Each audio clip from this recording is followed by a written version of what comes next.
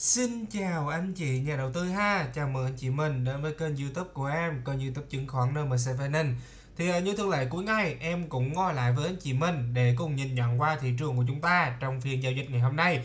Thì à, thị trường của chúng ta ngày hôm nay chính thức đóng cửa trên vùng 1200 đúng không ạ? Thì thị trường tăng 4,94 điểm tương đương với 0,41% thanh khoản duy trì ở một cái mức cao hơn trung bình 20 phiên một chút, nhưng mà em đánh giá đây là chính là những cái sự tăng lên trong những cái sự nghi ngờ của nhà đầu tư, giống như là ngày hôm qua. Anh chị mình có thể thấy được là nó có có những cái yếu tố rung lắc, đúng không anh chị mình thấy ngày hôm qua này trước những cái sự biến động khi mà cổ phiếu, khi mà về mặt cuối phiên nó test về lại vùng 1200 á, thì nó có những cái sự biến động, đúng không ạ? Nó tạo ra những cái tâm lý thỏa mãn. Tâm lý thỏa mãn ở đây là gì? Ở đây là chính là những của những nhà đầu tư. Mình gọi là mình à, lên vùng 1200 mình sẽ sao gì mình bán hàng ra, mình chờ đợi những cái cú điều chỉnh của thị trường, đúng không ạ? Thì ngày hôm qua nó cho những cái tâm lý thỏa mãn như thế. Và anh chị mình thấy là trong phiên sáng nay nó cũng có những yếu tố nó test lại liên tục, đúng không ạ? Liên tục liên tục nó, gọi là nó mớm lại quanh cái ngưỡng vùng 1200 đến cuối phiên nó mới có một cái nhịp kéo, đúng không ạ? Và những cái nhịp kéo cuối phiên này thì em đánh giá với anh chị mình á, kể cả về mặt nó kéo hay là kể cả về mặt về mặt nó nó đè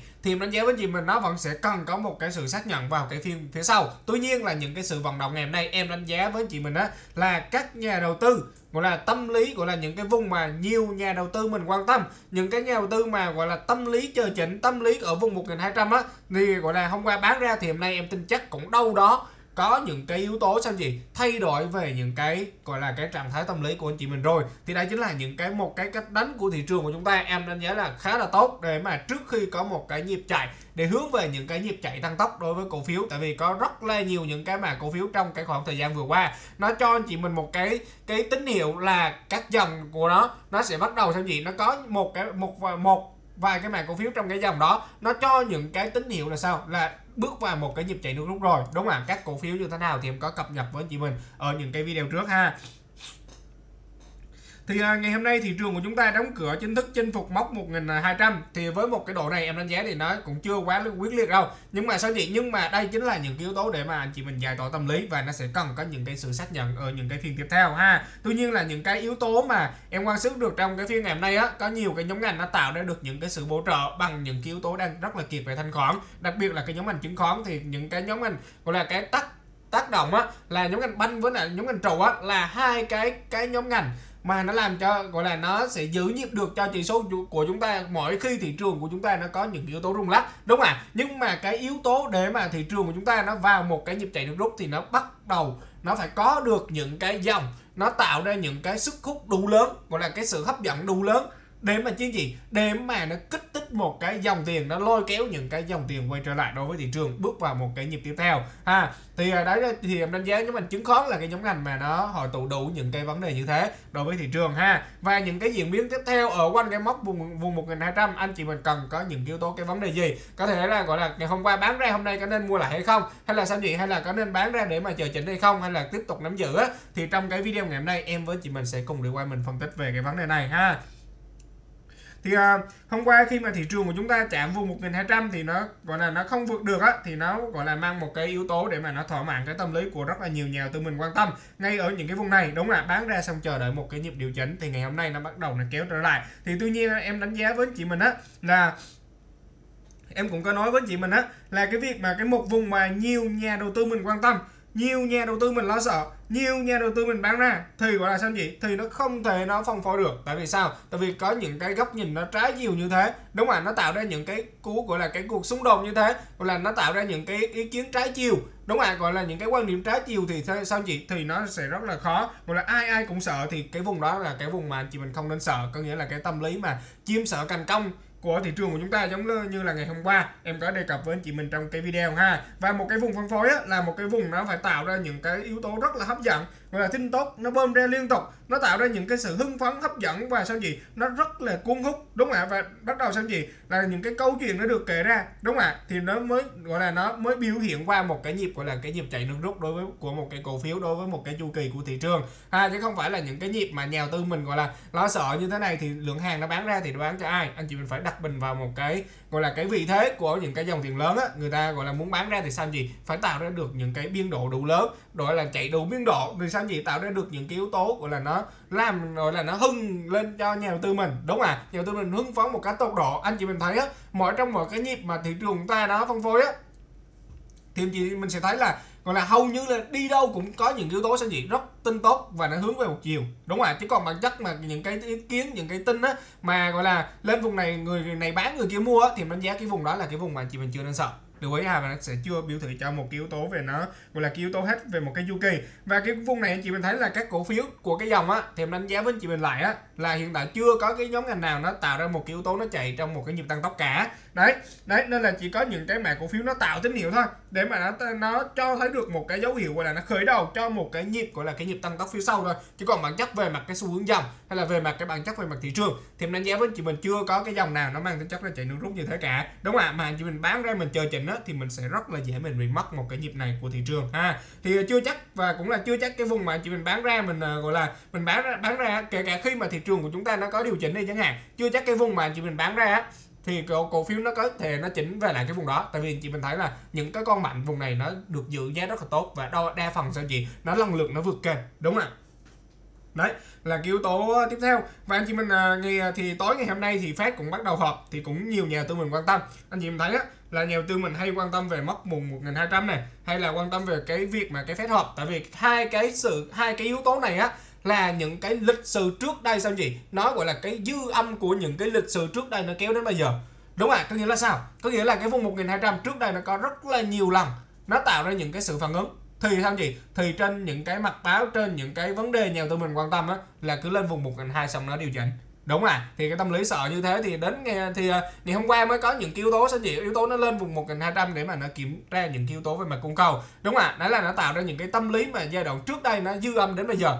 Cái tương tự như cái việc mà phép họp cũng tương tự như thế. Là thị trường chúng ta, nhìn thấy là những cái giai đoạn trước á, có mỗi lần phép họp là nhà đầu tư mình gọi là sao gì mình rất là rất là lo ngại và rất là quan tâm. Mà em đánh giá với chị mình, đến cái thời điểm bây giờ thứ nhất là các cổ phiếu về thị trường chúng ta đã chưa chạy đủ, chưa chạy hết cho một cái chu kỳ. Đúng à và chưa cái chu kỳ em có cập nhật với chị mình á, là để mà nó hết một cái chu kỳ tăng tăng của một cái dòng, tăng của một cái nhịp, gọi là cái nhịp của cổ phiếu á, thì nó phải biểu hiện qua một cái yếu tố chạy nước rút. Và cái sao gì và cái đỉnh của một cái cơn sóng của thị trường nó phải biểu thị qua sao gì biểu thị qua cái yếu tố về mặt thanh khoản. Đấy chị mình chỉ cần ghi nhớ hai cái vấn đề này để mà chi? Để mà mình đưa ra những cái hành động còn những các bất kỳ những cái xu hướng nó như thế nào để chăng nữa, thì nó vẫn hướng đến những cái vùng, gọi là khi mà nó xuất phát từ những cái vùng nền tích lũy, thì bắt buộc nó phải có phân phối. Mà phân phối là những cái đặc điểm mà nó tạo ra những cái sức hút, tạo ra những cái sự hấp dẫn và nó biểu thị qua một cái nhịp chạy nước rút đối với cổ phiếu. Lưu ý ha, và lúc đó là những cái vùng mà, gọi là, tạo ra những cái sự hưng phấn nhất. Đối với thị trường ha, chứ còn bản chất anh chị mình thấy là nếu mà anh chị mình bán ra, chờ chỉnh đi chẳng hạn, lên ngàn hai bán ra, hay là lên những cái vùng trên này nè, anh chị mình phân tích theo những yếu tố rồi ai phân kỳ phân kỳ đồ này kia, anh chị thấy là rồi ai phân kỳ có phân kỳ không gì? Có. Đúng là có điều chỉnh không? Có. Nhưng mà chị mình thấy sao? Cái biên độ nó không đủ để mà nó bị gãy một cái xu hướng. Và chưa chắc gì chị mình đã bán ra được vùng trên này. Đúng không hay là gọi là đến một cái giai đoạn chị mình bán ra xong mình chờ chỉnh lại xong gì? Chưa chắc thì chị mình mua lại được cái vùng này. Đấy, nên là cái việc tốt nhất sao chị? Vị thế tốt thì chị mình cứ cầm nắm cho hết một cái chu kỳ. Anh chị mình nhìn qua một cái góc nhìn nó dài ra hơn một chút đúng không dài ra hơn thì chị mình sẽ thấy những cái biến động ngắn hạn á. Nó không phải là những cái vấn đề mà chị mình còn quan tâm quá là lớn. Đúng không ạ nhìn thấy phân tích RSI này, RSI chị thấy không? Là có rơi vào vùng quá bán là từ ngày 12 tháng 7 á. Nhưng mà tôi kể từ ngày 12 tháng 7 chị mình thấy là nó tăng tiếp bao nhiêu phiên nữa anh chị? Hầu như là phiên nào cũng tăng. Đúng không ạ những cái phiên điều chỉnh một hai điểm không phải là những yếu tố vấn đề. Đúng không ạ hầu như là phiên nào cũng tăng, phiên này cũng xanh. Anh chị thấy là nó liên tục nó tạo ra những trạng thái cho chị?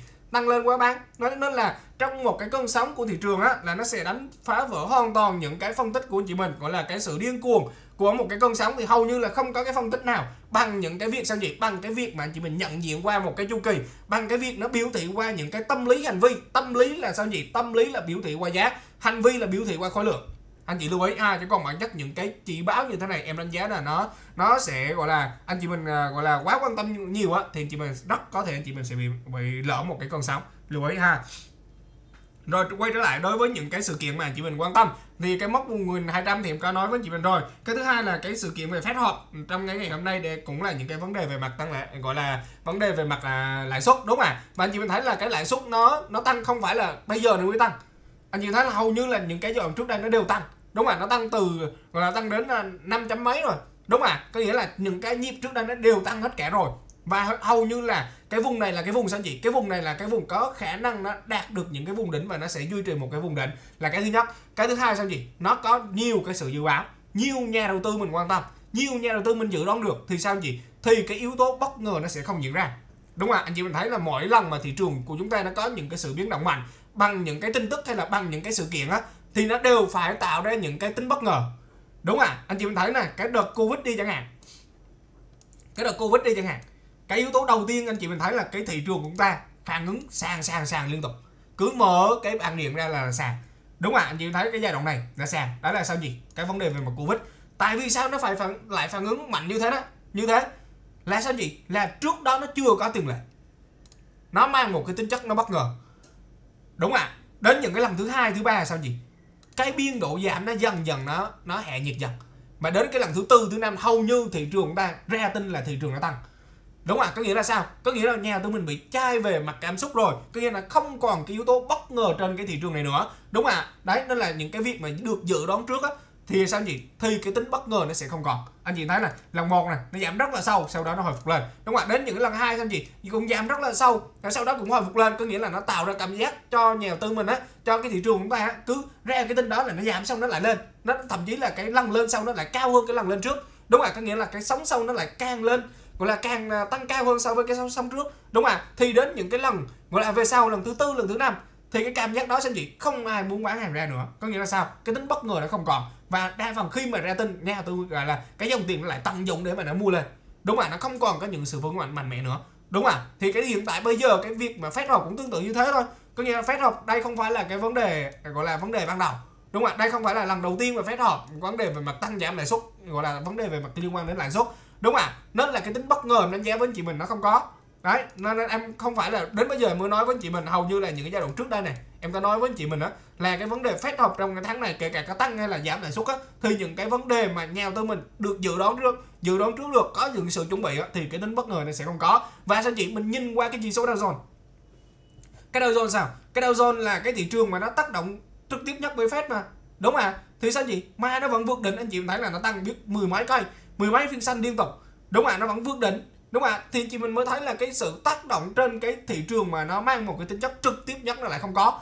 Mà là gọi là chưa kể là sao gì chưa kể là cái chính sách hiện tại bây giờ của thị trường mình nó lại đi ngược với những cái chính sách của của bên uh, gọi là bên uh, bên mỹ.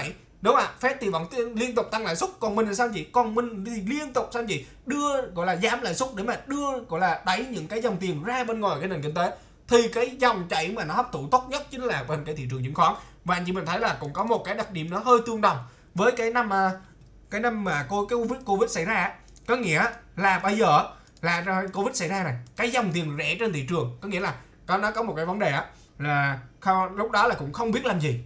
Đúng là có tiền thì không không biết làm gì. Tại vì sao? Phong tỏa thì phong tỏa hết. Phong tỏa đâu phải là phong tỏa cả Việt Nam đâu mà phong tỏa toàn thế giới. Đúng không ạ đứt gãy những cái chuỗi cung ứng. Có tiền thì sao gì? Doanh nghiệp cũng không biết làm gì. Thì bắt đầu sao gì? Đổ vào những cái cái thị trường chứng khoán thì hiện tại bây giờ anh chị mình thấy tương ứng.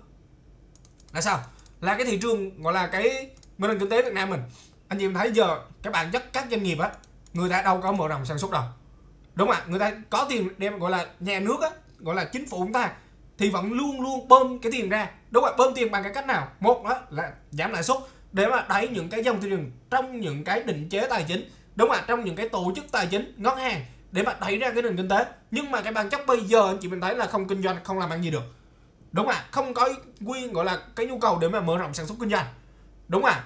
Cái yếu tố tiếp theo nữa, cái cái đẩy ờ, cái đẩy dòng tiền ra tiếp theo thông qua cái kênh nào gì? Thông qua cái giải ngân đầu tư công. Đúng ạ? Có nghĩa là bây giờ trên thị trường chúng ta, nó cái dòng tiền trên thị trường nó tương đồng với cái năm 2020 là cái năm covid xảy ra. Là tiền trên bây giờ nó không biết làm gì đúng không ạ anh chị mình đơn cử là anh chị mình cứ nhìn qua cái việc mà chia cổ tức của các cổ phiếu trong cái ờ, trên cái thị trường của ta trong những giai đoạn này này là đa phần các doanh nghiệp á, người ta chia cổ tức bằng tiền. Có nghĩa là sao? Có nghĩa là bây giờ tiền người ta, gọi là, có trong doanh nghiệp, nhưng mà người ta không biết làm gì. Mở rộng sản xuất thì sao gì? Thì cái lực cầu, cái, gọi là, cái sức cầu trong dân nó kém. Đúng không ạ? Sức cầu, gọi là, sức cầu tiêu thụ nó kém. Thì sao chị có mở rộng sản xuất thì cũng không hấp thụ được. Đúng không ạ? Thì nó gây nên những cái hiện trạng, gọi là, cái hàng tồn kho đúng không ạ thì sao chị thì cái doanh nghiệp đó người ta dùng những cái lượng tiền để mà người ta chia cổ tức nó là chị thấy là những cái doanh nghiệp á, người ta chia cổ tức bằng tiền rất là nhiều. Đúng không ạ đấy, chứ còn bản chất về mặt mở rộng sản xuất kinh doanh thì hầu như là cái cái nó rất là ít. Đúng không ạ nó là có nghĩa là sao? Tiền thì sao chị tiền thì cứ liên tục bơm ra. Nhưng mà sao chị nhưng mà à, không biết làm gì thì bắt đầu sao cũng đổ vào cái thị trường chứng khoán. Đúng không ạ đó là anh chị mình thấy là những cái bối cảnh về mặt dòng tiền nó tương tự, tương đồng, ha và cái độ dốc anh chị thấy là thị trường chúng ta nó liên tục nó tạo ra những cái độ dốc lên. Đúng không đây là những cái nhịp để mà nó tạo ra những cái yếu tố chạy cho một cái nhịp tăng tốc đối với thị trường của chúng ta. Lưu ý ha. Đấy là cái những cái sự kiện mà chị mình quan tâm. Và cái chu kỳ của của cái cổ phiếu hay là chu kỳ của thị trường á, nó thể hiện qua một cái nhịp chạy, qua những cái nhịp gọi là sao nhỉ? Những cái nhịp tạo ra những cái yếu tố hưng phấn gọi là tạo ra những cái yếu tố, gọi là cái tín hiệu về mặt dòng tiền, chứ không phải là cái vấn đề về, những cái vấn đề về mặt chỉ số. Nên là cái vùng 1200 em đâu có quan tâm nhiều đâu. Em chỉ quan tâm là cái cổ phiếu nó có hết chu kỳ hay chưa. Đúng không ạ? Mình cái vị thế tốt thì cái việc sao gì việc mình nắm giữ cho hết một cái chu kỳ. Khi nào hết chu kỳ mình rút ra. Mà đấy, mình rút ra, mình cầm tiền về. Mình chờ đợi một cái chu kỳ mới mình ăn tiếp. Đó thì nó nhìn chung là cái công việc đầu tư thì chị mình như thế thì nó sẽ tương đối nhẹ nhàng. Ha, chứ không phải là những cái sự biến động. Rồi là lên vùng này là kháng cự, lên vùng kia kháng cự. Có nghĩa là lên vùng nào chị mình cũng bán ra thì hàng đâu mình bán hoài đúng không hàng mà nó bán hoài mà chưa kể là sao gì chưa kể là mình bán xong mình chờ chỉnh là thị trường của ta nó có chỉnh đồng anh chị thấy là thì kể từ những cái lúc giai đoạn này này ở giai đoạn trước thì nó còn có những cái nhịp chỉnh nó tương đối mà anh chị thấy từ kể từ cái phiên ngày 7 tháng 7 này nó có những cái nhịp chỉnh nào đáng kể đâu. Đúng không ạ đa phần sao gì nó cứ tăng, nó cứ tăng, nó tăng lên liên tục. Càng bán ra sao gì càng bán ra cổ phiếu càng tăng. Anh chị thấy mờ ghép ra sợ bán ra tăng. Đúng không ạ phiên này sao gì STB nó rung dụ bán ra. Chờ đợi trình tiếp, cổ phiếu nó tiếp tục tăng. Đúng không ạ phiên này rung lắc cũng sợ, bán ra tăng đúng không ạ? Lên một ngày hai bán ra sợ ngày hôm nay tăng tiếp. Đúng không ạ? Có nghĩa là cứ liên tục nó tạo ra những yếu tố tăng như thế và nó thể hiện cho một cái yếu tố sao gì nó chưa hết một một cái chu kỳ. Thì sao gì thì cái việc mà mình bán ra bán ra liên tục như thế thì nếu mà tô tổ lại cả một cái con sóng mình không có lại bao nhiêu cả đâu. Nên là cái việc mà nắm giữ á, chính là một cái trạng thái tốt nhất mà mình đánh giá là mức gọi là cái mức độ sinh lãi tốt nhất. Và cái việc sao gì cái việc mà mình đầu tư nó nhẹ nhàng nhất trong một cái chu kỳ mà nó có một cái cơn sóng, lưu ý ha, đi lên từ tích lũy, đi lên từ cái việc thu gom thì nó phải có một cái giai đoạn nó phân phối. Đúng không ạ? Phân phối thể hiện qua một cái nhịp chạy nước rút. Anh chị mình cứ lưu ý về cái vấn đề này.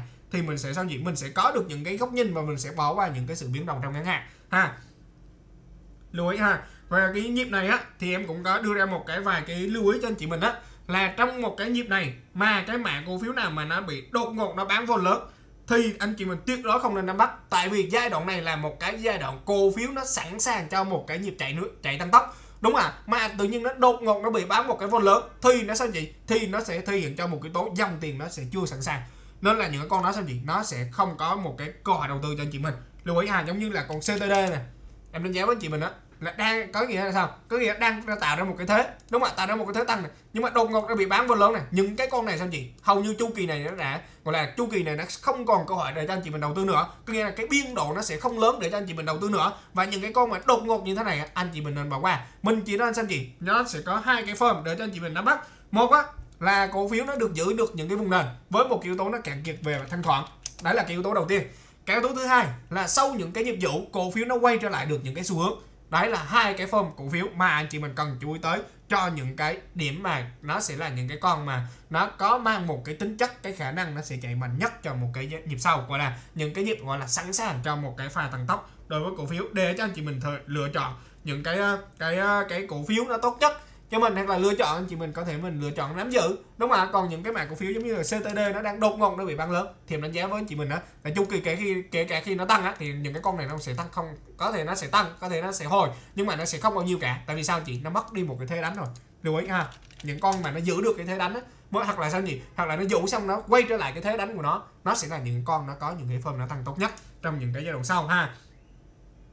Cái vấn đề à, mà cái thị trường á, giống như là những cái nhịp này đi chẳng hạn em phân tích với anh chị mình á là đây là cái vùng mà bắt đầu nó đóng cửa trên vùng 1200 đúng không ạ? Có thể những cái phiên sắp tới nếu mà nó tạo ra những cái biên độ đi ngang hay cái dòng tiền nó tạo ra một cái sự đánh thốc lên á đánh thốc lên gọi là nó tạo ra những cái sự xác nhận đúng không ạ? Tạo ra những cái sự xác nhận để mà lôi kéo những cái dòng tiền này vào. Có nghĩa là cái tâm lý á, là hôm trước là bán ra đúng không ạ? Bán ra mà nó phải bắt buộc nó phải lôi gọi là khi mà nó tăng lên vùng 1200 nó sẽ lôi kéo những cái dòng tiền bán ra cái phiên này này và sau gì bắt đầu quay trở lại đối với thị trường thì nếu mà nó xuất hiện một phiên xác nhận á, thì nó nên đánh luôn. Đúng không ạ? Có nghĩa là lên đánh luôn. Thì lúc đó mới sẽ thực hiện những cái chiến lược là mình đánh gấp hàng cho một cái nhịp chạy nước rút. Đúng không ạ? Là trâu chậm thì phải bắt buộc phải uống nước đục. Đúng không ạ? Nhưng mà nước đục thì em đánh giá với anh chị mình sẽ nên nên vào uống. Tại vì sao? Tại vì những cái vùng mà nó chạy nước rút á, hay là nó chạy tăng tốc của một cái chu kỳ, của một cái nhịp á, anh chị mình thấy là những cái vùng đó anh chị mình không có hàng á, anh chị mình chịu không nổi đúng mà giống như là những cái video trước em có đề cập với anh chị mình đó đã phần trong những cái nhịp này làm giữ hàng thôi. Đúng mà còn nếu bán ra sao gì? Thứ nhất là đừng có bán hết. Đúng không đừng có bán hết tại vì sao? Tại vì nó sẽ xuất hiện những cái nhịp như thế này này là anh chị mình chịu không nổi. Mà đến một lúc mà nó bắt đầu nó chững lại anh chị mình thấy cổ phiếu đi ngang bắt đầu thấy cái biên nó bắt đầu nó đi ngang ngang lại rồi á thì sao chị bắt đầu lúc đó lao vào á thì nó rất là dễ gặp những cái nhịp như thế này, này. đấy lưu ý ha. Nên á là sau những cái nhịp rung dụ rồi á mà nó sao gì? Nó tạo ra một cái tâm lý chuyên đổi về mặt trạng thái ấy, thì nó gọi là nó nên đánh luôn. Thì nó sẽ bước vào một cái nhịp tăng ngày gọi là bước vào một cái nhịp à, chạy tăng tốc ngay đối với những cái mã cổ phiếu tạo ra những cái sự xác nhận đi lên. Đúng không ạ? Thì lúc đó mình sẽ đánh gấp hàng. Lưu ý ha còn cái trường hợp á mà bắt đầu nó bùng nổ đi lên nhưng mà nó xuất hiện một cái phiên mà nó bán ngược lại gọi là nó thủng lại cái cái vùng này này thì đánh giá với chị mình thị trường lúc đó nó sẽ xuất hiện một cái nhịp điều chỉnh. Lưu ý ha cái nhịp điều chỉnh đó là những cái cơ hội cuối cùng cho anh chị mình mua được những cái vùng giá tốt trước khi một cái nhịp mới. Có nghĩa là cái kịch bản nào, cái sự vận động nào đi chăng nữa thì thị trường vẫn hướng đến một cái vùng gọi là cái nhịp chạy tăng tốc, gọi là cái nhịp chạy cho cuối của một cái giai đoạn. Lưu ý ha có nghĩa là sao? Trong phiên sáng nay em cũng có đi ra mình mình à, cập nhật một cái, một vài cái vấn đề là cái thị trường của chúng ta này đang tìm cận những cái ngưỡng tâm lý vùng 1200 khi mà các nhóm ngành trọng số lớn giống như là banh trụ đóng góp lớn cho cái chỉ số dẫn đến những cái nhóm ngành khác nó bị chững nhịp. Thì cái yếu tố rung lắc khi về vùng mà nhiều nhà tư quan tâm á nên là cái cung này nó có. Đúng không ạ? Tuy nhiên cái độ hấp thụ nó vẫn đang tương đối tốt. Khi mà các cổ phiếu gọi là nó vẫn chưa hết một cái chu kỳ. Đúng không ạ? Đối với những cái, cái các dòng á thì nó cứ liên tục nó luôn phiên nó đợi chỉ số và cái yếu tố về mặt tâm lý. Đấy thì khả năng thị trường nó các phiên sắp tới này nó sẽ tiếp tục nó test về lại vùng 1200 để mà kiếm ra một lượng cung một lần nữa anh chị mình thấy á, là cái phiên ngày hôm nay khi mà nó test về lại vùng 1200 á là cái bắt đầu cái thanh khoản sao gì nó bắt đầu nó cạn kiệt. Đúng không ạ? Về mặt gần cuối phiên anh chị mình mới thấy bắt đầu cái dòng tiền đổ bộ vào. Anh chị thấy cái nhịp này nó giống cái nhịp nào gì nhịp này nó giống với cái nhịp mà trước khi một cái cổ phiếu bước thoát trong cái giai đoạn này này đó cái giai đoạn này này anh chị mình sẽ thấy nó tương tương đồng. Ha có nghĩa là sao? Muốn đi lên á thì nó test test liên tục. Anh chị thấy này lên đến này này nó test test liên tục này đúng không ạ nó test test hai ba lần. Đấy, đến một giai đoạn nào đó sao gì nó kiểm tra bắt đầu nó kiếp thanh gọn rồi. Bắt đầu dòng tiền mồi vào này đánh thấp lên đấy có thể là cái vùng này giống như là cái vùng 1200 này. Có thể là đây là cái phiên vượt khỏi vùng 1200 đúng không các phiên sau nếu mà nó giữ nhịp nó tạo ra những cái sự xác nhận như thế này này thì sao gì nhịp nó gọi là các cổ phiếu nó sẽ bắt đầu nó tạo ra những cái sự tăng tốc. Lưu ý ha. Còn cái trường hợp á mà nó neo neo trên này này bắt đầu nó thủng lại á là gọi là nó có một cái phiên áp lực giảm lại thì nhịp này chính là một cái nhịp điều chỉnh thì lúc đó nó lại mở ra những cái cơ hội cho anh chị mình mua được những cái cổ phiếu mạnh ở một cái vùng giá an toàn, có nghĩa là sau những cái nhịp độ điều chỉnh cân bằng, dòng tiền hướng lên. Điểm đó là những cái thời điểm an toàn nhất. Lưu ý à để mà anh chị mình hướng đến cho những cái vùng tiếp theo, có nghĩa là cái kích bán nào đi gọi là xảy ra đi chăng nữa, thì em vẫn đánh giá với anh chị mình những cái vị thế tốt, anh chị mình vẫn phải nắm giữ, chấp nhận những cái nhịp độ điều chỉnh kể cả vấn đề về mặt thị trường luôn. Lưu ý ha khi mà những cái tín hiệu, gọi là của một cái chu kỳ nó chưa kết thúc thì cái việc mà chị mình cứ nắm giữ cho hết. Đúng không ạ? Giống như là những cái giai đoạn này này đó, những cái vị thế dưới này em vẫn nắm giữ mà còn mua thêm. Đúng không ạ? Mua thêm là những cái sau những nhịp điều chỉnh này đấy mua. Đúng không ạ? Anh chị thấy là những cái vị thế tốt như thế này này chấp những cái giai đoạn điều chỉnh luôn. Tại vì sao? Cổ phiếu nó chưa hết dư địa. Cổ phiếu nó chưa có những cái nhịp chạy hưng phấn.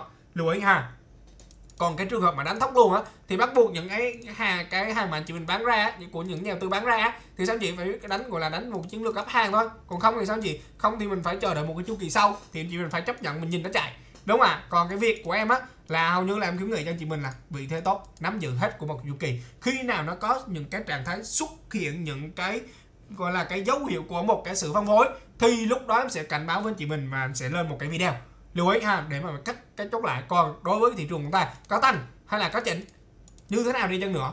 Thì sao gì thì em vẫn cầm nắm cổ phiếu và sẽ không có nhu cầu bán ra. Khi mà cái cổ phiếu nó chưa hết chưa có một cái trạng thái tín hiệu gọi là sao gì hết của một cái chu kỳ lưu ý ha. Và những cái nhịp nếu mà xuất hiện điều chỉnh thì lại rất là tốt cho những nhà tư để mà mình tìm kiếm những cái điểm cuối cùng. Đúng không ạ? Còn nếu mà đánh thấp lên luôn rồi sao chị? Bắt buộc còn phải phải đánh gấp hàng thôi. Lưu ý ha. Đó là những cái cái cái cái yếu tố của thị trường chúng ta nên là mình phải quan sát trong những cái phiên sắp tới nữa đối với thị trường ha. Và cái tâm lý trên cái vùng 1200 á là cái cái giống như là ngày hôm qua đi chẳng hạn là trong kể cả trong cái phiên ngày hôm nay.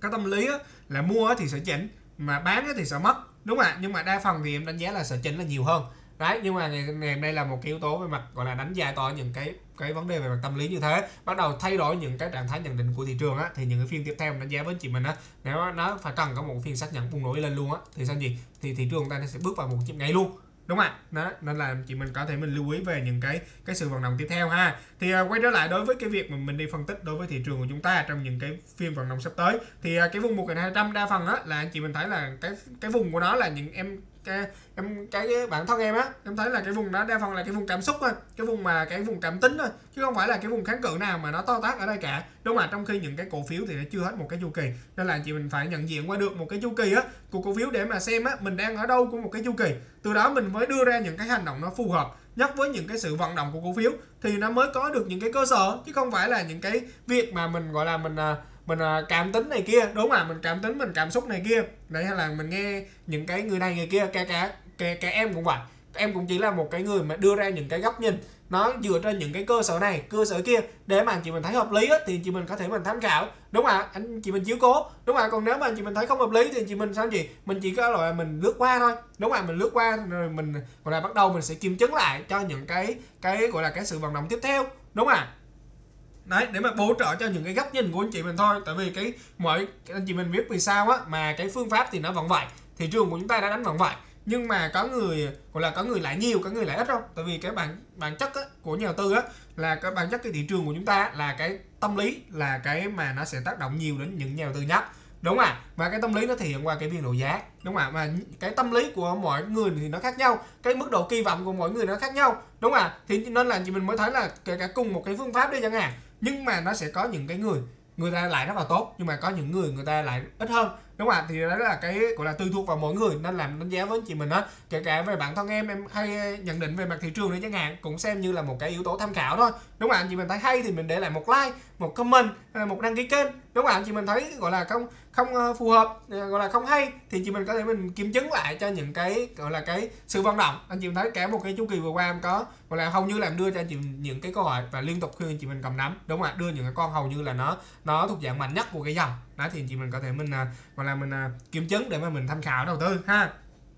Và đối với cái đấy là cái vấn đề về mặt uh, thị trường của chúng ta. Thì uh, nhìn chung là ngày hôm nay nó kéo ETC thì nó sẽ cần có những yếu tố kiểm chứng. À thì tốt nhất khi mà nó đã lôi kéo nó bùng nổ vượt khỏi được vùng 1200 rồi á thì nó nếu mà nó nhanh á thì nó đã đã lôi kéo và nó đã thu hút những nhà đầu tư gọi là thay đổi trạng thái rồi thì nó nên sao gì nó nên giữ nhịp mà nó nên đánh luôn. Và nó gọi là nó để mà các cổ phiếu cái thị trường của chúng ta nó bước vào một cái pha tăng tốc ha. Thì uh, giữ nhịp á đô của thị trường nó đóng vai trò là những cái mà cổ phiếu mang trọng số lớn giống như là ngân hàng hay là những ngành trâu còn những cái mà cổ phiếu mà nó tạo ra được những cái sự hấp dẫn cho nhà đầu tư thì em đánh giá với chị mình là những cái dòng nó mang tính chất thị trường đúng à nó dòng mang tính chất thị trường ở đây á thì em đánh giá cái sự hấp dẫn nhất thì nó vẫn đến từ cái nhóm ngành chứng khoán. Tại vì sao chị? Tại vì chứng khoán là nó đi xa những cái vùng nền có nghĩa là những cái vùng nền tích lũy của nó đi xa nền thì thường những cái nhịp nước rút á để mà nó chạy á thì nó phải là những cái con nó đi xa nền. Còn những cái mảng cổ phiếu khác giống như là à, giống như là thép hay là giống như bất động sản thì đa phần nó vừa với bất thoát thôi. Có nghĩa là những cái con đó là những con nếu mà nó tăng á thì nó sẽ đồng pha với thị trường. Nhưng mà cái chu kỳ chính của nó em đánh giá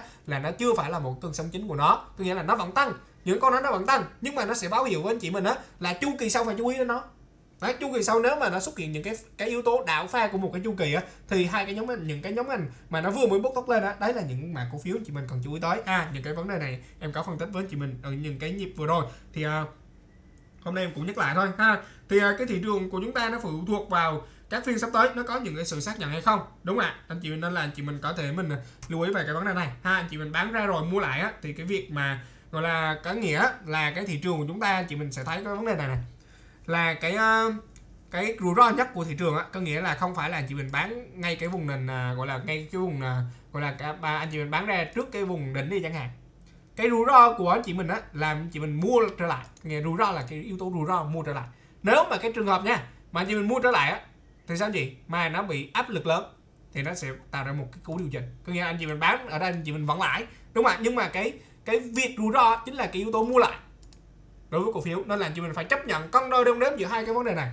Lưu ý ha còn cái bản thân em sao gì em cứ nắm giữ. Hết chu kỳ bán ra không có vấn đề gì cả đâu. Lưu ý ha. Đó là cái uh, yếu tố của cái thị trường. Nếu mà nó tốt á sao chị? Nếu mà nó tốt thì tăng luôn thì lúc đó sao chị lúc đó là những cái trong chậm mình uống nước đục.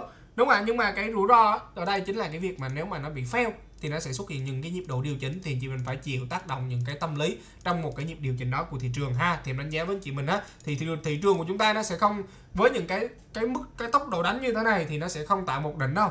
Có nghĩa là nếu mà chị mình lỡ có mua vào cái ngay cái vùng đỉnh một đỉnh một đây chẳng hạn gọi là cái nó tạo đi những cái nhịp điều độ trước khi điều chỉnh đi chẳng hạn thì nó vẫn sẽ có những cái nhịp nó test về.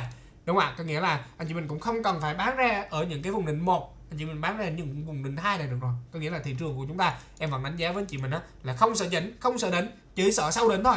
Mà để mà nó tạo ra một cái yếu tố đỉnh á, thì nó sẽ tạo ra hai từ hai đến ba đỉnh. Có là tạo ra một cái quá trình.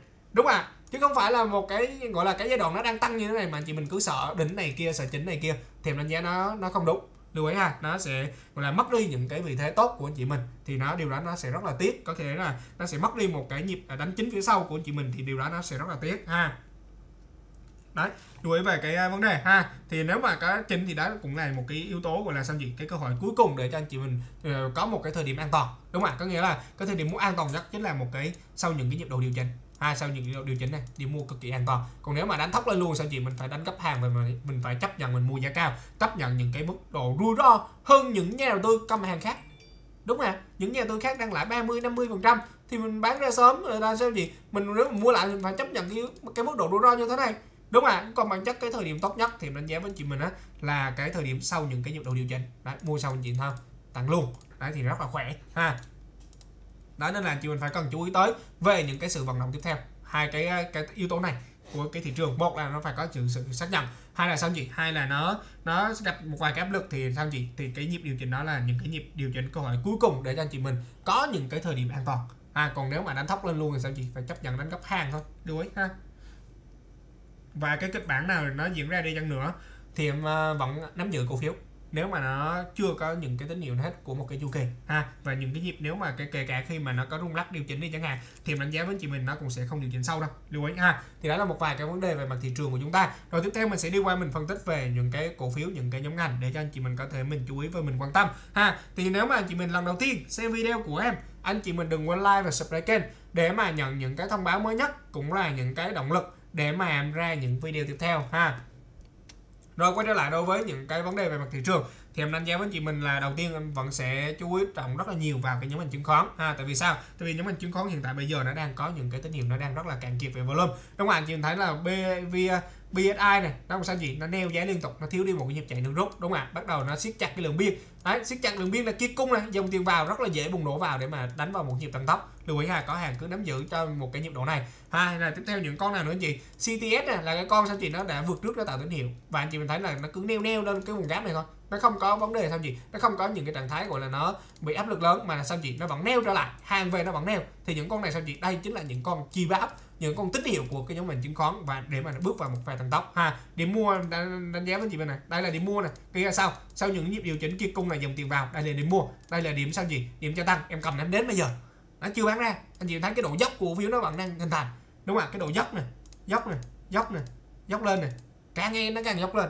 Đấy thì chị mình phải sao gì? Nắm giữ để mà ăn một cái nhịp độ nó chạy tăng tốc. Lưu ý ha. À, si FTS tương tự như thế này. Bắt đầu siết chặt biên cạn cung. Đó những con này rất là dễ thu hút dòng tiền vào đó, nhìn chung là cái dòng chứng khoán ngày hôm nay làm đánh giá với chị mình đó rất là cạn kiệt về, cạn kiệt về volume và nó bắt đầu siết chặt biên đó, đây chính là những cái điều kiện để mà cái dòng tiền nó bị thu hút vào trong những nhịp độ sau. Lưu ý ha, là HCM này cổ phiếu sao gì hồi phục bắt đầu nó test lại này volume thấp này dòng tiền bùng nổ chỉ có chạy tăng tốc thôi. Lưu ý ha MBS này đấy, anh chị thấy không? Đây là điểm dũng này cổ phiếu nó hồi phục lại được. Hôm nay test cùng volume thấp, rất là dễ tạo ra những cái sự bùng nổ vào những cái phiên tiếp theo. Lưu ý ha, rất là dễ nó thu hút được dòng tiền đấy đấy, những con này này anh chị thấy không nền này nền này nền này thiếu đi một nhịp chạy tăng tốc. Đấy, anh chị mình phải ờ, chú ý tới những cái mảng cổ phiếu như thế này, ha. SBS tương tự như thế này dụ xong này anh chị thấy không? Liên tục test cung này dòng tiền vào. Nhìn chung là cái nhóm ngành chứng khoán em đánh giá với anh chị mình đó là nó rất là dễ chạy. Nó gọi là nó rất là dễ, nó tạo ra những cái sự đồng pha để mà chi? Để mà vào một cái pha tăng tốc và từ đó nó sẽ hình thành nên một cái nhịp tăng tốc của cái thị trường của chúng ta. Khi nó lôi kéo những cái sự hấp dẫn trở lại thì bắt đầu nó sẽ kích thích những cái dòng tiền quay trở lại. Đối với thị trường thì từ đó nó sẽ hình thành nên những cái dòng tiền đại giá, những cái dòng tiền để mà nó, gọi là, mang tính chất đầu cơ, mang tính chất đầu cơ cao để mà chi gì để mà nó tạo ra những cái pha tăng tốc, tạo ra những cái sự hấp dẫn cho cái cổ phiếu, cho những cái nhịp độ sau. Đúng không ạ? Là SHS nhìn thấy có vấn đề gì đâu. Đúng không ạ? Nhìn thấy có vấn đề gì đâu. Phải tăng lên xây nền tăng lên xây nền này liên tục này siết chặt biên này đấy kia đang thanh khoản đang bé dần này rất có dễ thu hút dòng tiền vào rất là dễ nó tạo ra những cái sự gọi là cái nhóm ngành chứng khoán này rất là dễ nó tạo ra một cái sự gọi là cái sự đồng pha cái sự đồng thuận của cái nhóm ngành. Mà một khi cái dòng nó đồng thuận á, thì nó sẽ tạo ra một cái tâm lý rất là tốt cho cái thị trường chúng ta. Lưu ý ha kể cả SI này chị thấy không sau những phiên dũng này chị thấy là cổ phiếu hồi phục trở lại này liên tục tạo ra những phiên xét ờ, test cung. Đúng không ạ?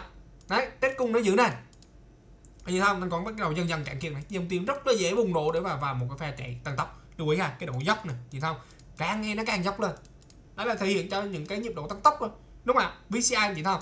Đấy những cái hầu như là cái sự phân tích của em á là trước đây cũng có với anh chị mình nè. Đúng không ạ? Đây là một kênh giá. Đấy bước tốt kênh giá sang nhịp bước tốt nhịp bóng bốn nó sẽ vào một pha tăng tốc. Anh chị thấy vùng này rất là càng kiệt thành gọn. Một cái vùng phân phối á, mà một cái vùng á mà nhà tư luôn luôn nghi ngờ. Nhà tư nào cũng nghi ngờ anh chị thấy là không tạo ra những sự hưng phấn thì làm sao nó phân phối được hàng?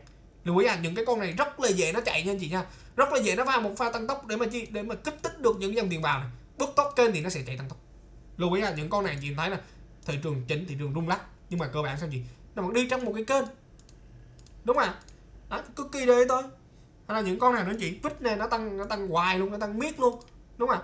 À, VND VND khả năng nó khi mà dòng nó tăng nó sẽ tăng nhưng mà nhưng mà trước mắt là phần cần phải có những sự hấp thụ quanh ngưỡng vùng giá 19.5 đến 20 đúng không ạ? Cái dòng nó tăng là sao chị? Cổ phiếu nó tăng.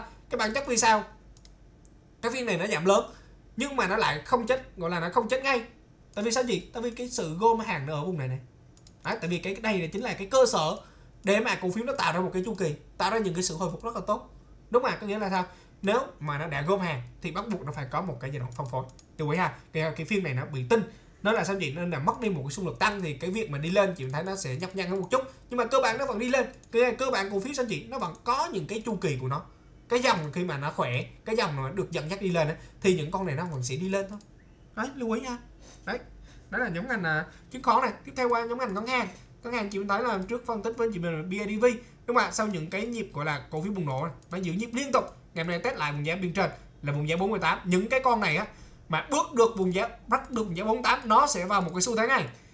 Khi vào xu thế, đối với mã cổ phiếu của BID thì cái chỉ số chúng ta không còn bàn nữa. Đúng không ạ? CTG tương tự như thế này. Đấy, cứ biên độ cứ đi linh xình linh xình, nhưng mà một khi nó bứt thoát được vùng giá 31 rồi, thì nó sẽ chạy ngay. Những con ngày nó đang đóng vai trò là giữ được cái chỉ số cho chúng ta. Đúng không ạ? BID này giữ được chỉ số thì phải tăng 4 phiên liên tục. Đúng không ạ? Nó giữ cho chỉ số này. Tiếp theo những con này nữa chị HD Bank này, những con này cũng tăng này đúng không ạ có vấn đề gì đâu. Đấy, liên việt nè. Liên việt bắt đầu cạn cung. Hôm nay là phiên no supply. Đúng không ạ no supply của một cái quá trình đi ngang. Đúng không ạ xuất hiện phiên tấn cung nữa là rất là dễ nó tạo ra những sự bùng nổ. Được không ha MBB này đấy trong kênh giá này kia cung này anh nhìn không? Thanh còn rất là bé như thế này thì nhìn chung là những cái xu hướng nó vẫn giữ trong một cái xu hướng thôi. Đúng không ạ đang siết chặt biên này thì khả năng nó về lại biên trên thôi. Đấy bứt tốc biên trên là sao chị? Và phải tăng tốc. Ha tiếp theo những con SHB này chị thấy nó giữ này đúng không ạ cái kênh của nó là kênh nó đã bứt tốc rồi sau chia chị thấy sau chia cổ phiếu nó vẫn giữ được một cái nhịp của nó. Đúng không ạ? Sau chia nó vẫn giữ nhịp được. Nó không lắp gáp ngay mà nó giữ nhịp được trên cái gáp này thì sao chị? Rất là dễ nó tạo ra những sự bứt thoát có nghĩa là nó cho ra được một cái dòng tiền nó đang được đợi giá từ cổ phiếu ha. À, STB nó hồi phục được này nhưng mà những con này hồi phục lâu lắm chị bỏ qua nha. Có nghĩa là đang đi lên mà bức gọi là nó tạo ra những cái phiên như thế này thì cổ phiếu nó sẽ rất là nhập nhằn và rất là lâu. À, Techcombank này chị thấy không? Ngày hôm qua nó bùng nổ đóng cửa không quyết liệt. Thì ngày hôm nay sao chị? Nó cổ phiếu nó test về vô bé tí như này có vấn đề gì đâu đúng không ạ? Công bằng ngày mai hàng về hấp thụ tốt thì còn đánh tiếp. Và đánh tiếp nó vượt thì sao chị? Nó sẽ kích thích được một cái vấn đề về mặt chỉ số cho anh chị mình. Được ý ha. Về chỉ số thì sao chị? Chỉ số là nó liên quan đến cái vấn đề về mặt tâm lý. Đúng không ạ? Đúng không tâm lý sẽ giải tỏa thì sao chị? Cổ phiếu gọi là thị trường chúng ta nó rất là dễ nó bước vào một pha tăng tốc. Lưu ý ha. Là còn Vietcombank tương tự thế này. Chị thấy cứ kêu tăng hoài luôn. Đấy, đang làm tâm lý cho anh chị mình. Đúng không ạ? Nó giữ nhịp được cho chỉ số của chúng ta. Đúng không ạ? Hay là VIP này bùng nổ hôm nay hàng về gì không lượng cung rất là cạn kiệt, cơ bản nó test về thôi, cái kênh giá của nó này đúng không bức tốc kênh giá sao chị, cổ phiếu chạy tăng tốc. Lưu ý ha vi banh tương tự như thế này đến ngày mai cái phiên này hàng về, nếu mà nó hấp thụ tốt quanh ngưỡng này á, thì sao chị cơ bản nó đã có xu thế rồi này nó đã vượt được những cái vùng đỉnh định của nó. Đây chỉ là những cái yếu tố test lại thôi, bình thường thôi. Dòng tiền nó đã vào để mà nó tạo ra những cái sự chuyển đổi về mặt trạng thái. Lưu ý ha, nhìn chung là cái nhóm ngành ngân hàng mà nó có, nó đã vào trend rồi. Thì chị mình mới thấy được là cái chỉ số của chúng ta là một cái chỉ số nó được bảo vệ, gọi là nó được bảo hiểm, bảo kê bởi những cái nhóm ngành ngân hàng này tương đối tốt, đúng không ạ? Nhóm ngành ngân hàng hay là nhóm ngành trụ này trụ trước có giới thiệu với chị mình về những cái mã cổ phiếu giống như Vinamilk.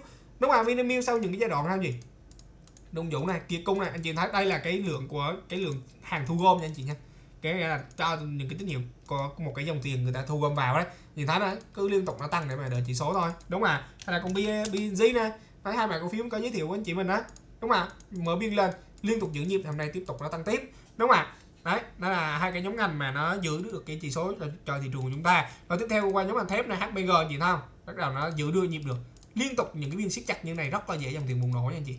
Là hoa sen này chị thấy bắt đầu lên biên trên. Đúng không lên biên trên bước tốc biên trên sao chị? Cổ phiếu nó sẽ phát một cái tín hiệu tăng tốc. Gọi là phát một cái tín hiệu gọi là nó tăng tốc cho một cái ngành. Đúng không anh chị thấy này hoa sen cứ liên tục anh chị thấy cái vận động của nó vẫn trong một cái kênh giá thôi. Đúng không bước tốc lên này là con này là tín hiệu. Đúng không à nam kim này nam kim cũng trong một cái kênh giá này đúng không có vấn đề gì đâu. Bước tóc kênh giá cổ phiếu tại tăng tốc nó còn trong những xu hướng như này, chị mình nắm giữ có vấn đề gì đâu. Đúng không còn những cái con mà thép nhỏ hôm trước có giới thiệu cho anh chị mình về hai mã cổ phiếu ấy về FMC này nó đi nền nền nền liên tục. Đấy, dòng vào bước tóc là sao gì tăng tốc ngay. Đấy, hay là TLH tương tự như thế này. Đấy, cứ nâng nền liên tục như thế này thì rất là dễ tăng tốc nha anh chị nha. Đấy nhóm ngành thép. Rồi tiếp theo qua những cái trạng thái khác của nhóm ngành bất động sản. Bất động sản, chị mình thấy CI này đấy CI chị mình không? Đi lên nè đi lên nè nền liên tục như thế này sao chị? Rất là dễ bước thoát lưu ý ha còn con sale thì em có cập nhật với gì mình rồi á. Con này chưa có thế đâu. Lên vùng này nó còn sẽ mất rất là nhiều những cái thời gian á. Nên chị mình bỏ qua đi. Hay là con DG này nhìn thấy không? Cái điểm mà trước em mua á là điểm này. Đấy cái điểm mua sau là điểm này. Nhưng mà điểm mua sau thì em bán rồi. Đúng không ạ? Con em còn giữ được cái điểm này, này. có nghĩa vị thế tốt mình nắm giữ có vấn đề gì đâu. Hôm nay là một cái biên độ chuẩn nhịp trở lại hoàn toàn bình thường của một cái cổ phiếu ha. Đấy, nên là khi mà thị trường tăng dòng tăng những cái con này nó vẫn sẽ tăng. Đâu các bạn sẽ chỉ nó bứt thoát được những cái nhịp rồi đây đặt phương anh chị thôi. Đây là một cái pha chạy đà. Đúng không ạ? Đây là pha chạy đà rất là tốt này. thì nó không thể giảm ngay được đâu. Đúng không ạ? Nó vẫn sẽ có những cái nhịp tăng tiếp. Hay là đất xanh này cũng tăng này nhưng mà đất xanh vô lớn ấy, thì em thường em thích con DG hơn.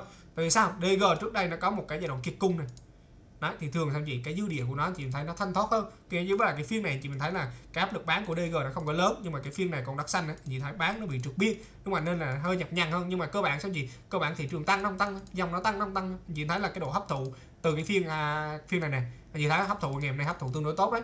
Đó, nên là rất là dễ nó tạo ra những cái sự đồng thuận cho cái thị trường của chúng ta. Lưu ý nha HDC giữ nhịp thôi. Những cái con này á mà giảm sâu chị mình thấy này giảm sâu nó sẽ có một cái nhịp đánh test đỉnh lưu ý à nó sẽ không thể nào nó tạo ra một cái vùng đỉnh ngay đây đâu. Tại vì sao? Cái nhịp này chạy đà này quá là tốt đi. Đúng không à, hà đô đấy. Dòng tiền bùng nổ vào sẽ nó sẽ kích thích ngay. Khang điên này. Đấy chị không cứ tăng tăng tăng này cứ vượt đỉnh những cái con này vượt đỉnh nó cứ liên tục nó vượt thôi. Đúng không ạ? Hay là sao gì năm từ liêm. À, năm long. À, năm long này hôm trước có đề, đề cập với chị mình này. Đây là một cái nhịp gọi là nhịp chạy đà cổ phiếu. Đúng không ạ? Cổ phiếu nó liên tục giữ nền như thế này thì nó vẫn sẽ còn những nhịp đánh nữa nam từ liêm. Mà nam từ liêm giữ nền này, nó giữ nền này bắt đầu nó siết chặt biên. Đúng không ạ? Dòng tiền bùng nổ vào anh chị. Nó thể là những cái yếu tố nó kích hoạt. Đó anh chị thấy là một nền này, hai nền này, ba nền này, nền sau đã đánh chỉ có chạy tăng tốc thôi nha anh chị nha. Hay là ngày hôm nay có Novaland. Novaland à, anh chị thấy này sau những cái phiên mở biên lên, anh chị thấy là trong cái, cả trong cái phiên sáng này, cái sự hấp thụ của nó em đánh giá là rất, khá là tốt. Đấy, có cũng à, cũng là cái sự nhận định của em trong phiên ngày hôm nay á, là cái thị trường của ta nó có thể, khả năng nó bước thoát vùng nghìn hai á, nó cũng có liên quan đến cái con này này tại vì sao gì tại vì cái lượng hàng này về mà cái phiên sáng, cả phiên sáng thấy cái sự hấp thụ nó rất là tốt. Lưu ý ha, nên là chị thấy cuối phiên đóng cửa cao cho phiên. Với lại em có một cái cảm giác á, cái cái này là thì à, em cũng à, gọi là mình à, mình cảm giác thôi, chứ cũng không phải là cái yếu tố mà mình đi phân tích một cái doanh nghiệp nào đâu. Em có một cái cảm giác như thế này, là hầu như á, là những cái chính sách của của chính phủ của chúng ta, đúng không ạ? Hay là ờ, của nhà nước của chúng ta á, là hầu như nó đang hướng đến cái con Novaland anh chị mình có cảm giác như thế không? Đúng không ạ? Tại vì giảm lãi suất này hay là giải cứu bất động sản này đúng không ạ? Hay là sao gì hay là, gọi là, bắt đầu là ờ, cho những cái, cấp lại những cái tín dụng á. Anh chị thấy hầu như nó đang, nó có những cái sự nào đó em đánh giá là nó có những cái sự nó đang hướng đến cái con Novaland. Đúng không ạ? Nó là anh chị mình thấy nếu á mà cái con Novaland á mà nó có những cái sự phản ứng tốt á, thì chứng tỏ cho sao gì cái chính sách hiện tại nó đang hiệu quả. Đúng không ạ? Nó đang có những cái sự phản ứng tích cực cho cái nền kinh tế của chúng ta lưu ý ha em em à, gọi là nhìn chung là, là nó không có cơ sở gì đâu nhưng mà em có cảm giác nó là như thế. Đúng không ạ? Và bắt đầu xong gì cổ phiếu đồng đã bắt đầu nó vượt này xét về cái xu thế là bắt đầu nó vượt rồi đúng không ạ? Hàng này hôm nay về chấp nhận hấp thụ hết. Để đây là chính là những con nó tạo ra những cái tâm lý tốt cho cái thị trường của chúng ta ha. Là BR có con vượt trước này con này vượt trước này hôm trước có gửi đến cho anh chị mình có nói với anh chị mình về cái điểm mua này này là anh chị mình mua điểm này rất là an toàn. Đúng không ạ? Tại vì sao? Nó bút thốc nền đúng không ạ? Sau những nhịp độ chỉnh nó bứt thúc nền những con này mua rất an toàn. Đúng không ạ? những cái con này chỉ mình có hai mình cư nắm giờ là chặn lại mình giá 20 thôi. Tăng tiếp thì nâng cái mức chặn lại lên là đồ là ok. Hai cái đường lên bán sớm ha. Tiếp theo khu nghiệp đầu tư công. Đầu tư công có C4G vậy là phim bùng nổ này chị thấy cái nền của nó rất là chắc. Đúng không ạ? chị thấy đi lên xây nền đi lên xây nền rất là chắc. Đúng không hôm nay hàng về chị thấy cái lực bán nó bao nhiêu rồi? đa phần là test nền thôi. Những con này cân bằng một hai phiên cổ phiếu nó sẽ còn tăng tiếp. Ha à, những cái con như con FCN này trong kênh thì bình thường. Đấy hay là HFV này à, tách lại thôi nhưng mà volume hơi lớn nha anh chị nha. Nhưng mà dòng nó lên thì nó sẽ lên thôi. Là con nào nữa anh chị? LCG à, LCG này cũng test cơ bản test lại thôi nhưng mà nó duy trì trong cơn là ok. Nhưng mà em có nói với anh chị mình á là cái nhóm mình đối với cái nhóm mình đầu tư công á thì em đánh hai mảng cổ phiếu. Con à, đầu tiên em đánh á, là con hầu như là cái vị thế tốt nhất là mảng cổ phiếu của VCG em mua từ những vùng gọi là trước khi chia. Đúng không ạ? Cái điểm này là điểm em mua tiếp. Đúng không ạ? Nắm giữ đến bây giờ con này con tàu tín hiệu chị thấy là đang vào một pha tăng tốc ngày hôm nay chấn nhịp thôi những con này nó còn chạy tiếp đấy vì mình nắm giữ đừng bán sớm nha. Đấy, con thứ hai là sao chị mua con C4G đấy C4G là sao chị? Cái độ an toàn nó nhiều hơn. Có nghĩa là sao? Có nghĩa là nó dành cho những nhà tư mà không mua được con C4 CVCG để mà tạo ra những cái độ an toàn á, thì mình có lựa chọn cho nhà tư mình mua con C4G đúng không ạ chứ còn bản chất là cái đánh chính là con VCG nha anh chị. Đấy VCG là con tạo tín hiệu này đúng không ạ? Còn LCG HHV thì tùy khẩu vị của nhà đầu tư mình. Nhưng mà đánh giá là duy trì trong kênh là đang rất khá là tốt cũng không có yếu tố gì tiêu cực đâu. Nhưng mà về mặt gọi là để em đánh giá em đánh á, thì em đánh con VCG với lại con C4G thì chị mình thấy là cái cổ phiếu VCG nó đang cho được những cái kết quả. Đúng không ạ? Nó biểu thị qua những cái độ tăng tốc đối với cổ phiếu. Ha đấy là cái nhóm ngành à, à, đầu tư công. Rồi tiếp theo qua cái nhóm ngành khu nghiệp. Khu nghiệp chị thấy KBC này bùng nổ lên hôm nay test kênh về. Bình thường thôi có vấn đề gì đâu. Không có vấn đề gì đâu cả nhé gì nha đấy có hàng cứ nắm giữ bình thường. Anh chị thấy SCC này vẫn còn tiếp tục nó tăng mà. Đúng không ạ? KBC giống như là một cái kênh như thế này này khi mà nó bứt thoát ra qua được rồi á thị trường chúng ta ủng hộ á thì những con này sao chị? Nó bứt thoát rất là nhanh. Đúng không ạ? Đấy cứ đi lên đi lên lên. Nó chưa có một cái tín hiệu bán nào thì chị mình cứ nắm giữ để mà có những cái sự tăng tốc. Những con này là những con nó tạo tín hiệu nha chị nha. Đấy KBC này cũng là những con nó tạo tín hiệu này hôm nay test về bình thường đó nha, nha anh chị. Nó hàng về nó vẫn hấp thụ tốt thì khả năng nó còn đánh tiếp đấy. Rồi tiếp theo qua những cái mà cổ phiếu nào nữa anh chị? Mà cổ phiếu của à, BHR đúng không ạ BHR cái nền này rất là dễ bước thoát hôm nay tới cung khả năng ngày mai bùng nổ đó. nếu mà chị mình chưa có giống ngành à, à, khu nghiệp có thể nghe chú ý những cái con này này. Đấy, trong đang hiện tại đang trong nền. Ha à, VGC này. À, VGC đang trong kênh thôi. Nhìn chung là không có dòng tiền nổi bật nhưng mà đây là cái yếu tố sao chị? Nó duy trì được một cái kênh giá đối với cổ phiếu. Đúng không ạ thị trường à, gọi là cái dòng lên nó sẽ lên. À, tiếp theo những con IDC này. Nó vẫn duy trì biên giá như này này. Nhìn chung là dòng lên nó sẽ lên nhưng mà sao chị? Nó hơi chậm một chút thôi. Đấy, còn nếu mà chị mình muốn test cung ngay á, thì có BHR này. Ngày mai cực kỳ chú ý nó ha. Và tiếp theo qua những con GVR Đấy, GVR xu hướng nắm giữ thôi. Đấy, xu hướng nắm giữ thôi nha. Rồi tiếp theo qua những cái nhóm ngành nào nữa chị? Nhóm ngành là dầu khí. Dầu khí có những cái mã cổ phiếu như BR hơi chậm hơi chậm một chút nhưng mà sao gì nó giống như con à, C4G cứ đi lên xây nền đi lên xây nền nó sẽ đi một cái nền rất là chắc và cái nhịp cuối là gì? Bùng nổ lên á, là những cái nhịp mà nó sẽ chạy nhanh nhất. Có nghĩa là nhịp đầu nó sẽ tăng chậm, nhưng mà nhịp cuối nó sẽ tăng nhanh. Lưu ý ha. On tương tự như thế này. Cái nền của nó siết chặt biên rất là dễ bùng nổ vào ngày mai. Lưu ý nha theo những con nào nữa chị? Những cái con giống như là con bbb đúng không ạ? Hôm nay test cung này anh chị thấy phiên xác nhận về hôm nay test trở lại. Kia cung. Á, dòng tiền xác nhận là cổ phiếu này chạy tăng tốc này. Đấy cực kỳ đợi tới. BVC này BVC biên độ nó hơi lỏng, nhưng mà bắt đầu nó siết chặt rồi này cần có một dòng tiền bùng nổ làm sao gì PVD này PVD khả năng bùng nổ rất là cao nha anh chị. Đấy dòng dòng khí đó. Em à, uh, gọi là em đề xuất với anh chị mình những cái mã cổ phiếu đầu tiên là BVD thứ hai là con BVS cái thứ ba là con BVB. Đấy là những cái mã phiếu chị mình cần hướng đến. Ha nếu mà muốn đánh nhanh muốn đánh gọi là một cái nhịp tăng tốc á thì chị mình phải chú ý những cái con như thế này. Nó tạo ra những cái vùng gọi là cái cái à, gọi là cái nền giá nó đủ tốt. Đúng không ạ? Anh chị thấy nền giá này nền giá này nền giá này. Đấy dòng tiền kích hoạt thì có chạy tăng tốc nha anh chị nha. Có nghĩa là sau những điểm dụ cổ phiếu nó hồi phục được hôm nay biên chuẩn này đấy, ngày à, mai tết cung hay là ngày mốt dòng tiền vào thì những cái con này rất là dễ đánh. Ha đó là cái nhóm ngành dầu khí em muốn đề cập với anh chị mình. Có nghe sau điểm dụ cổ phiếu hồi phục lại được là những con khỏe nha anh chị. Đấy là một vài cái yếu tố một vài cái mã cổ phiếu em muốn đề cập với chị mình trong cái video ngày hôm nay cũng như là những cái sự vận động của chúng ta trong cái phiên ngày hôm nay. Ha thì cơ bản đây là một cái phiên giải tỏa tâm lý thôi. Nó giải tỏa tâm lý và vẫn đang chờ đợi những cái sự xác nhận phía sau. Thì à, nhưng mà cơ bản dù thế nào đi chăng nữa thì em vẫn cầm nắm cổ phiếu. Ha, em vẫn cầm nắm cho hết một cái chu kỳ. Người à, gọi là người, gọi là người mình phải mình phải là những cái người gọi là ở lại sau cùng. Đúng không ạ? Đấy là lại sau cùng của một cái chu kỳ, cầm nắm đến cuối của một cái chu kỳ. Và mình biết rút ra đúng lúc, mình biết đi về đúng lúc. Đúng không ạ? Trong một cái bữa tiệc á, thì chị mình phải sao gì mình à, gọi là, mình là người gọi là ở lại đến cuối cùng. Mình ăn từ cái món, sao gì từ từ cái món khai vị đến cái món tráng miệng đấy xong cái món tráng miệng sao chị? Ờ, Dịp là, là gọi là tiệc kết thúc thì mình đi về chứ đừng là cơ lại quá là lâu rồi. Nó sinh ra nhiều đâm ra nhiều cái chuyện đúng không ạ? Nó giống với cái việc mà mình à, đầu tư cổ phiếu vậy đấy là cái việc mà gọi là mình à, mình à, gọi là mình không bán được á có nghĩa là mình không bán được thì cổ phiếu nó rất là dễ bị trượt biên lúc đó nó sẽ mất lại rất là nhiều. Ha nên là nên nó xuất hiện những cái nhịp như thế này này thì em sẽ cảnh báo với anh chị mình nên là anh chị mình cứ yên tâm. Anh chị mình cứ like video anh chị mình cứ đăng ký kênh. Đấy anh chị mình cứ subscribe kênh đi. Thì à, khi mà nó xuất hiện những cái tín hiệu như thế thì em sẽ cập nhật với anh chị mình. Hoặc là anh chị mình có thể mình nếu mình thấy phù hợp với quan điểm đầu tư của anh chị mình đấy phù hợp những cái góc nhìn để mà anh chị mình có thể mình à, đưa ra những cái cái à, gọi là cái à, cái hành động tốt nhất á, thì chị mình có thể liên hệ với em qua số điện thoại 0339 079 886 để mà cùng đồng hành cùng em trong room khách hàng. Mình nhận những cái khuyến nghị nó cụ thể nhất nó sâu sắc nhất trong phiên ha. Nếu mà chị mình thấy hay đừng quên like và subscribe kênh ha. Thì em cũng xin kết thúc video tại đây. Em xin kính chào chị mình à, kính chúc anh chị mình một buổi tối vui vẻ và hứa hẹn thị trường chung của chúng ta sẽ có những cái nhịp bùng nổ vào những cái phiên tiếp theo ha. Hẹn anh chị mình vào video lần sau trước khi chị mình rời đi. Đừng quên để lại một nút like và một subscribe kênh ha. Thì em cũng xin cảm ơn chị mình ha.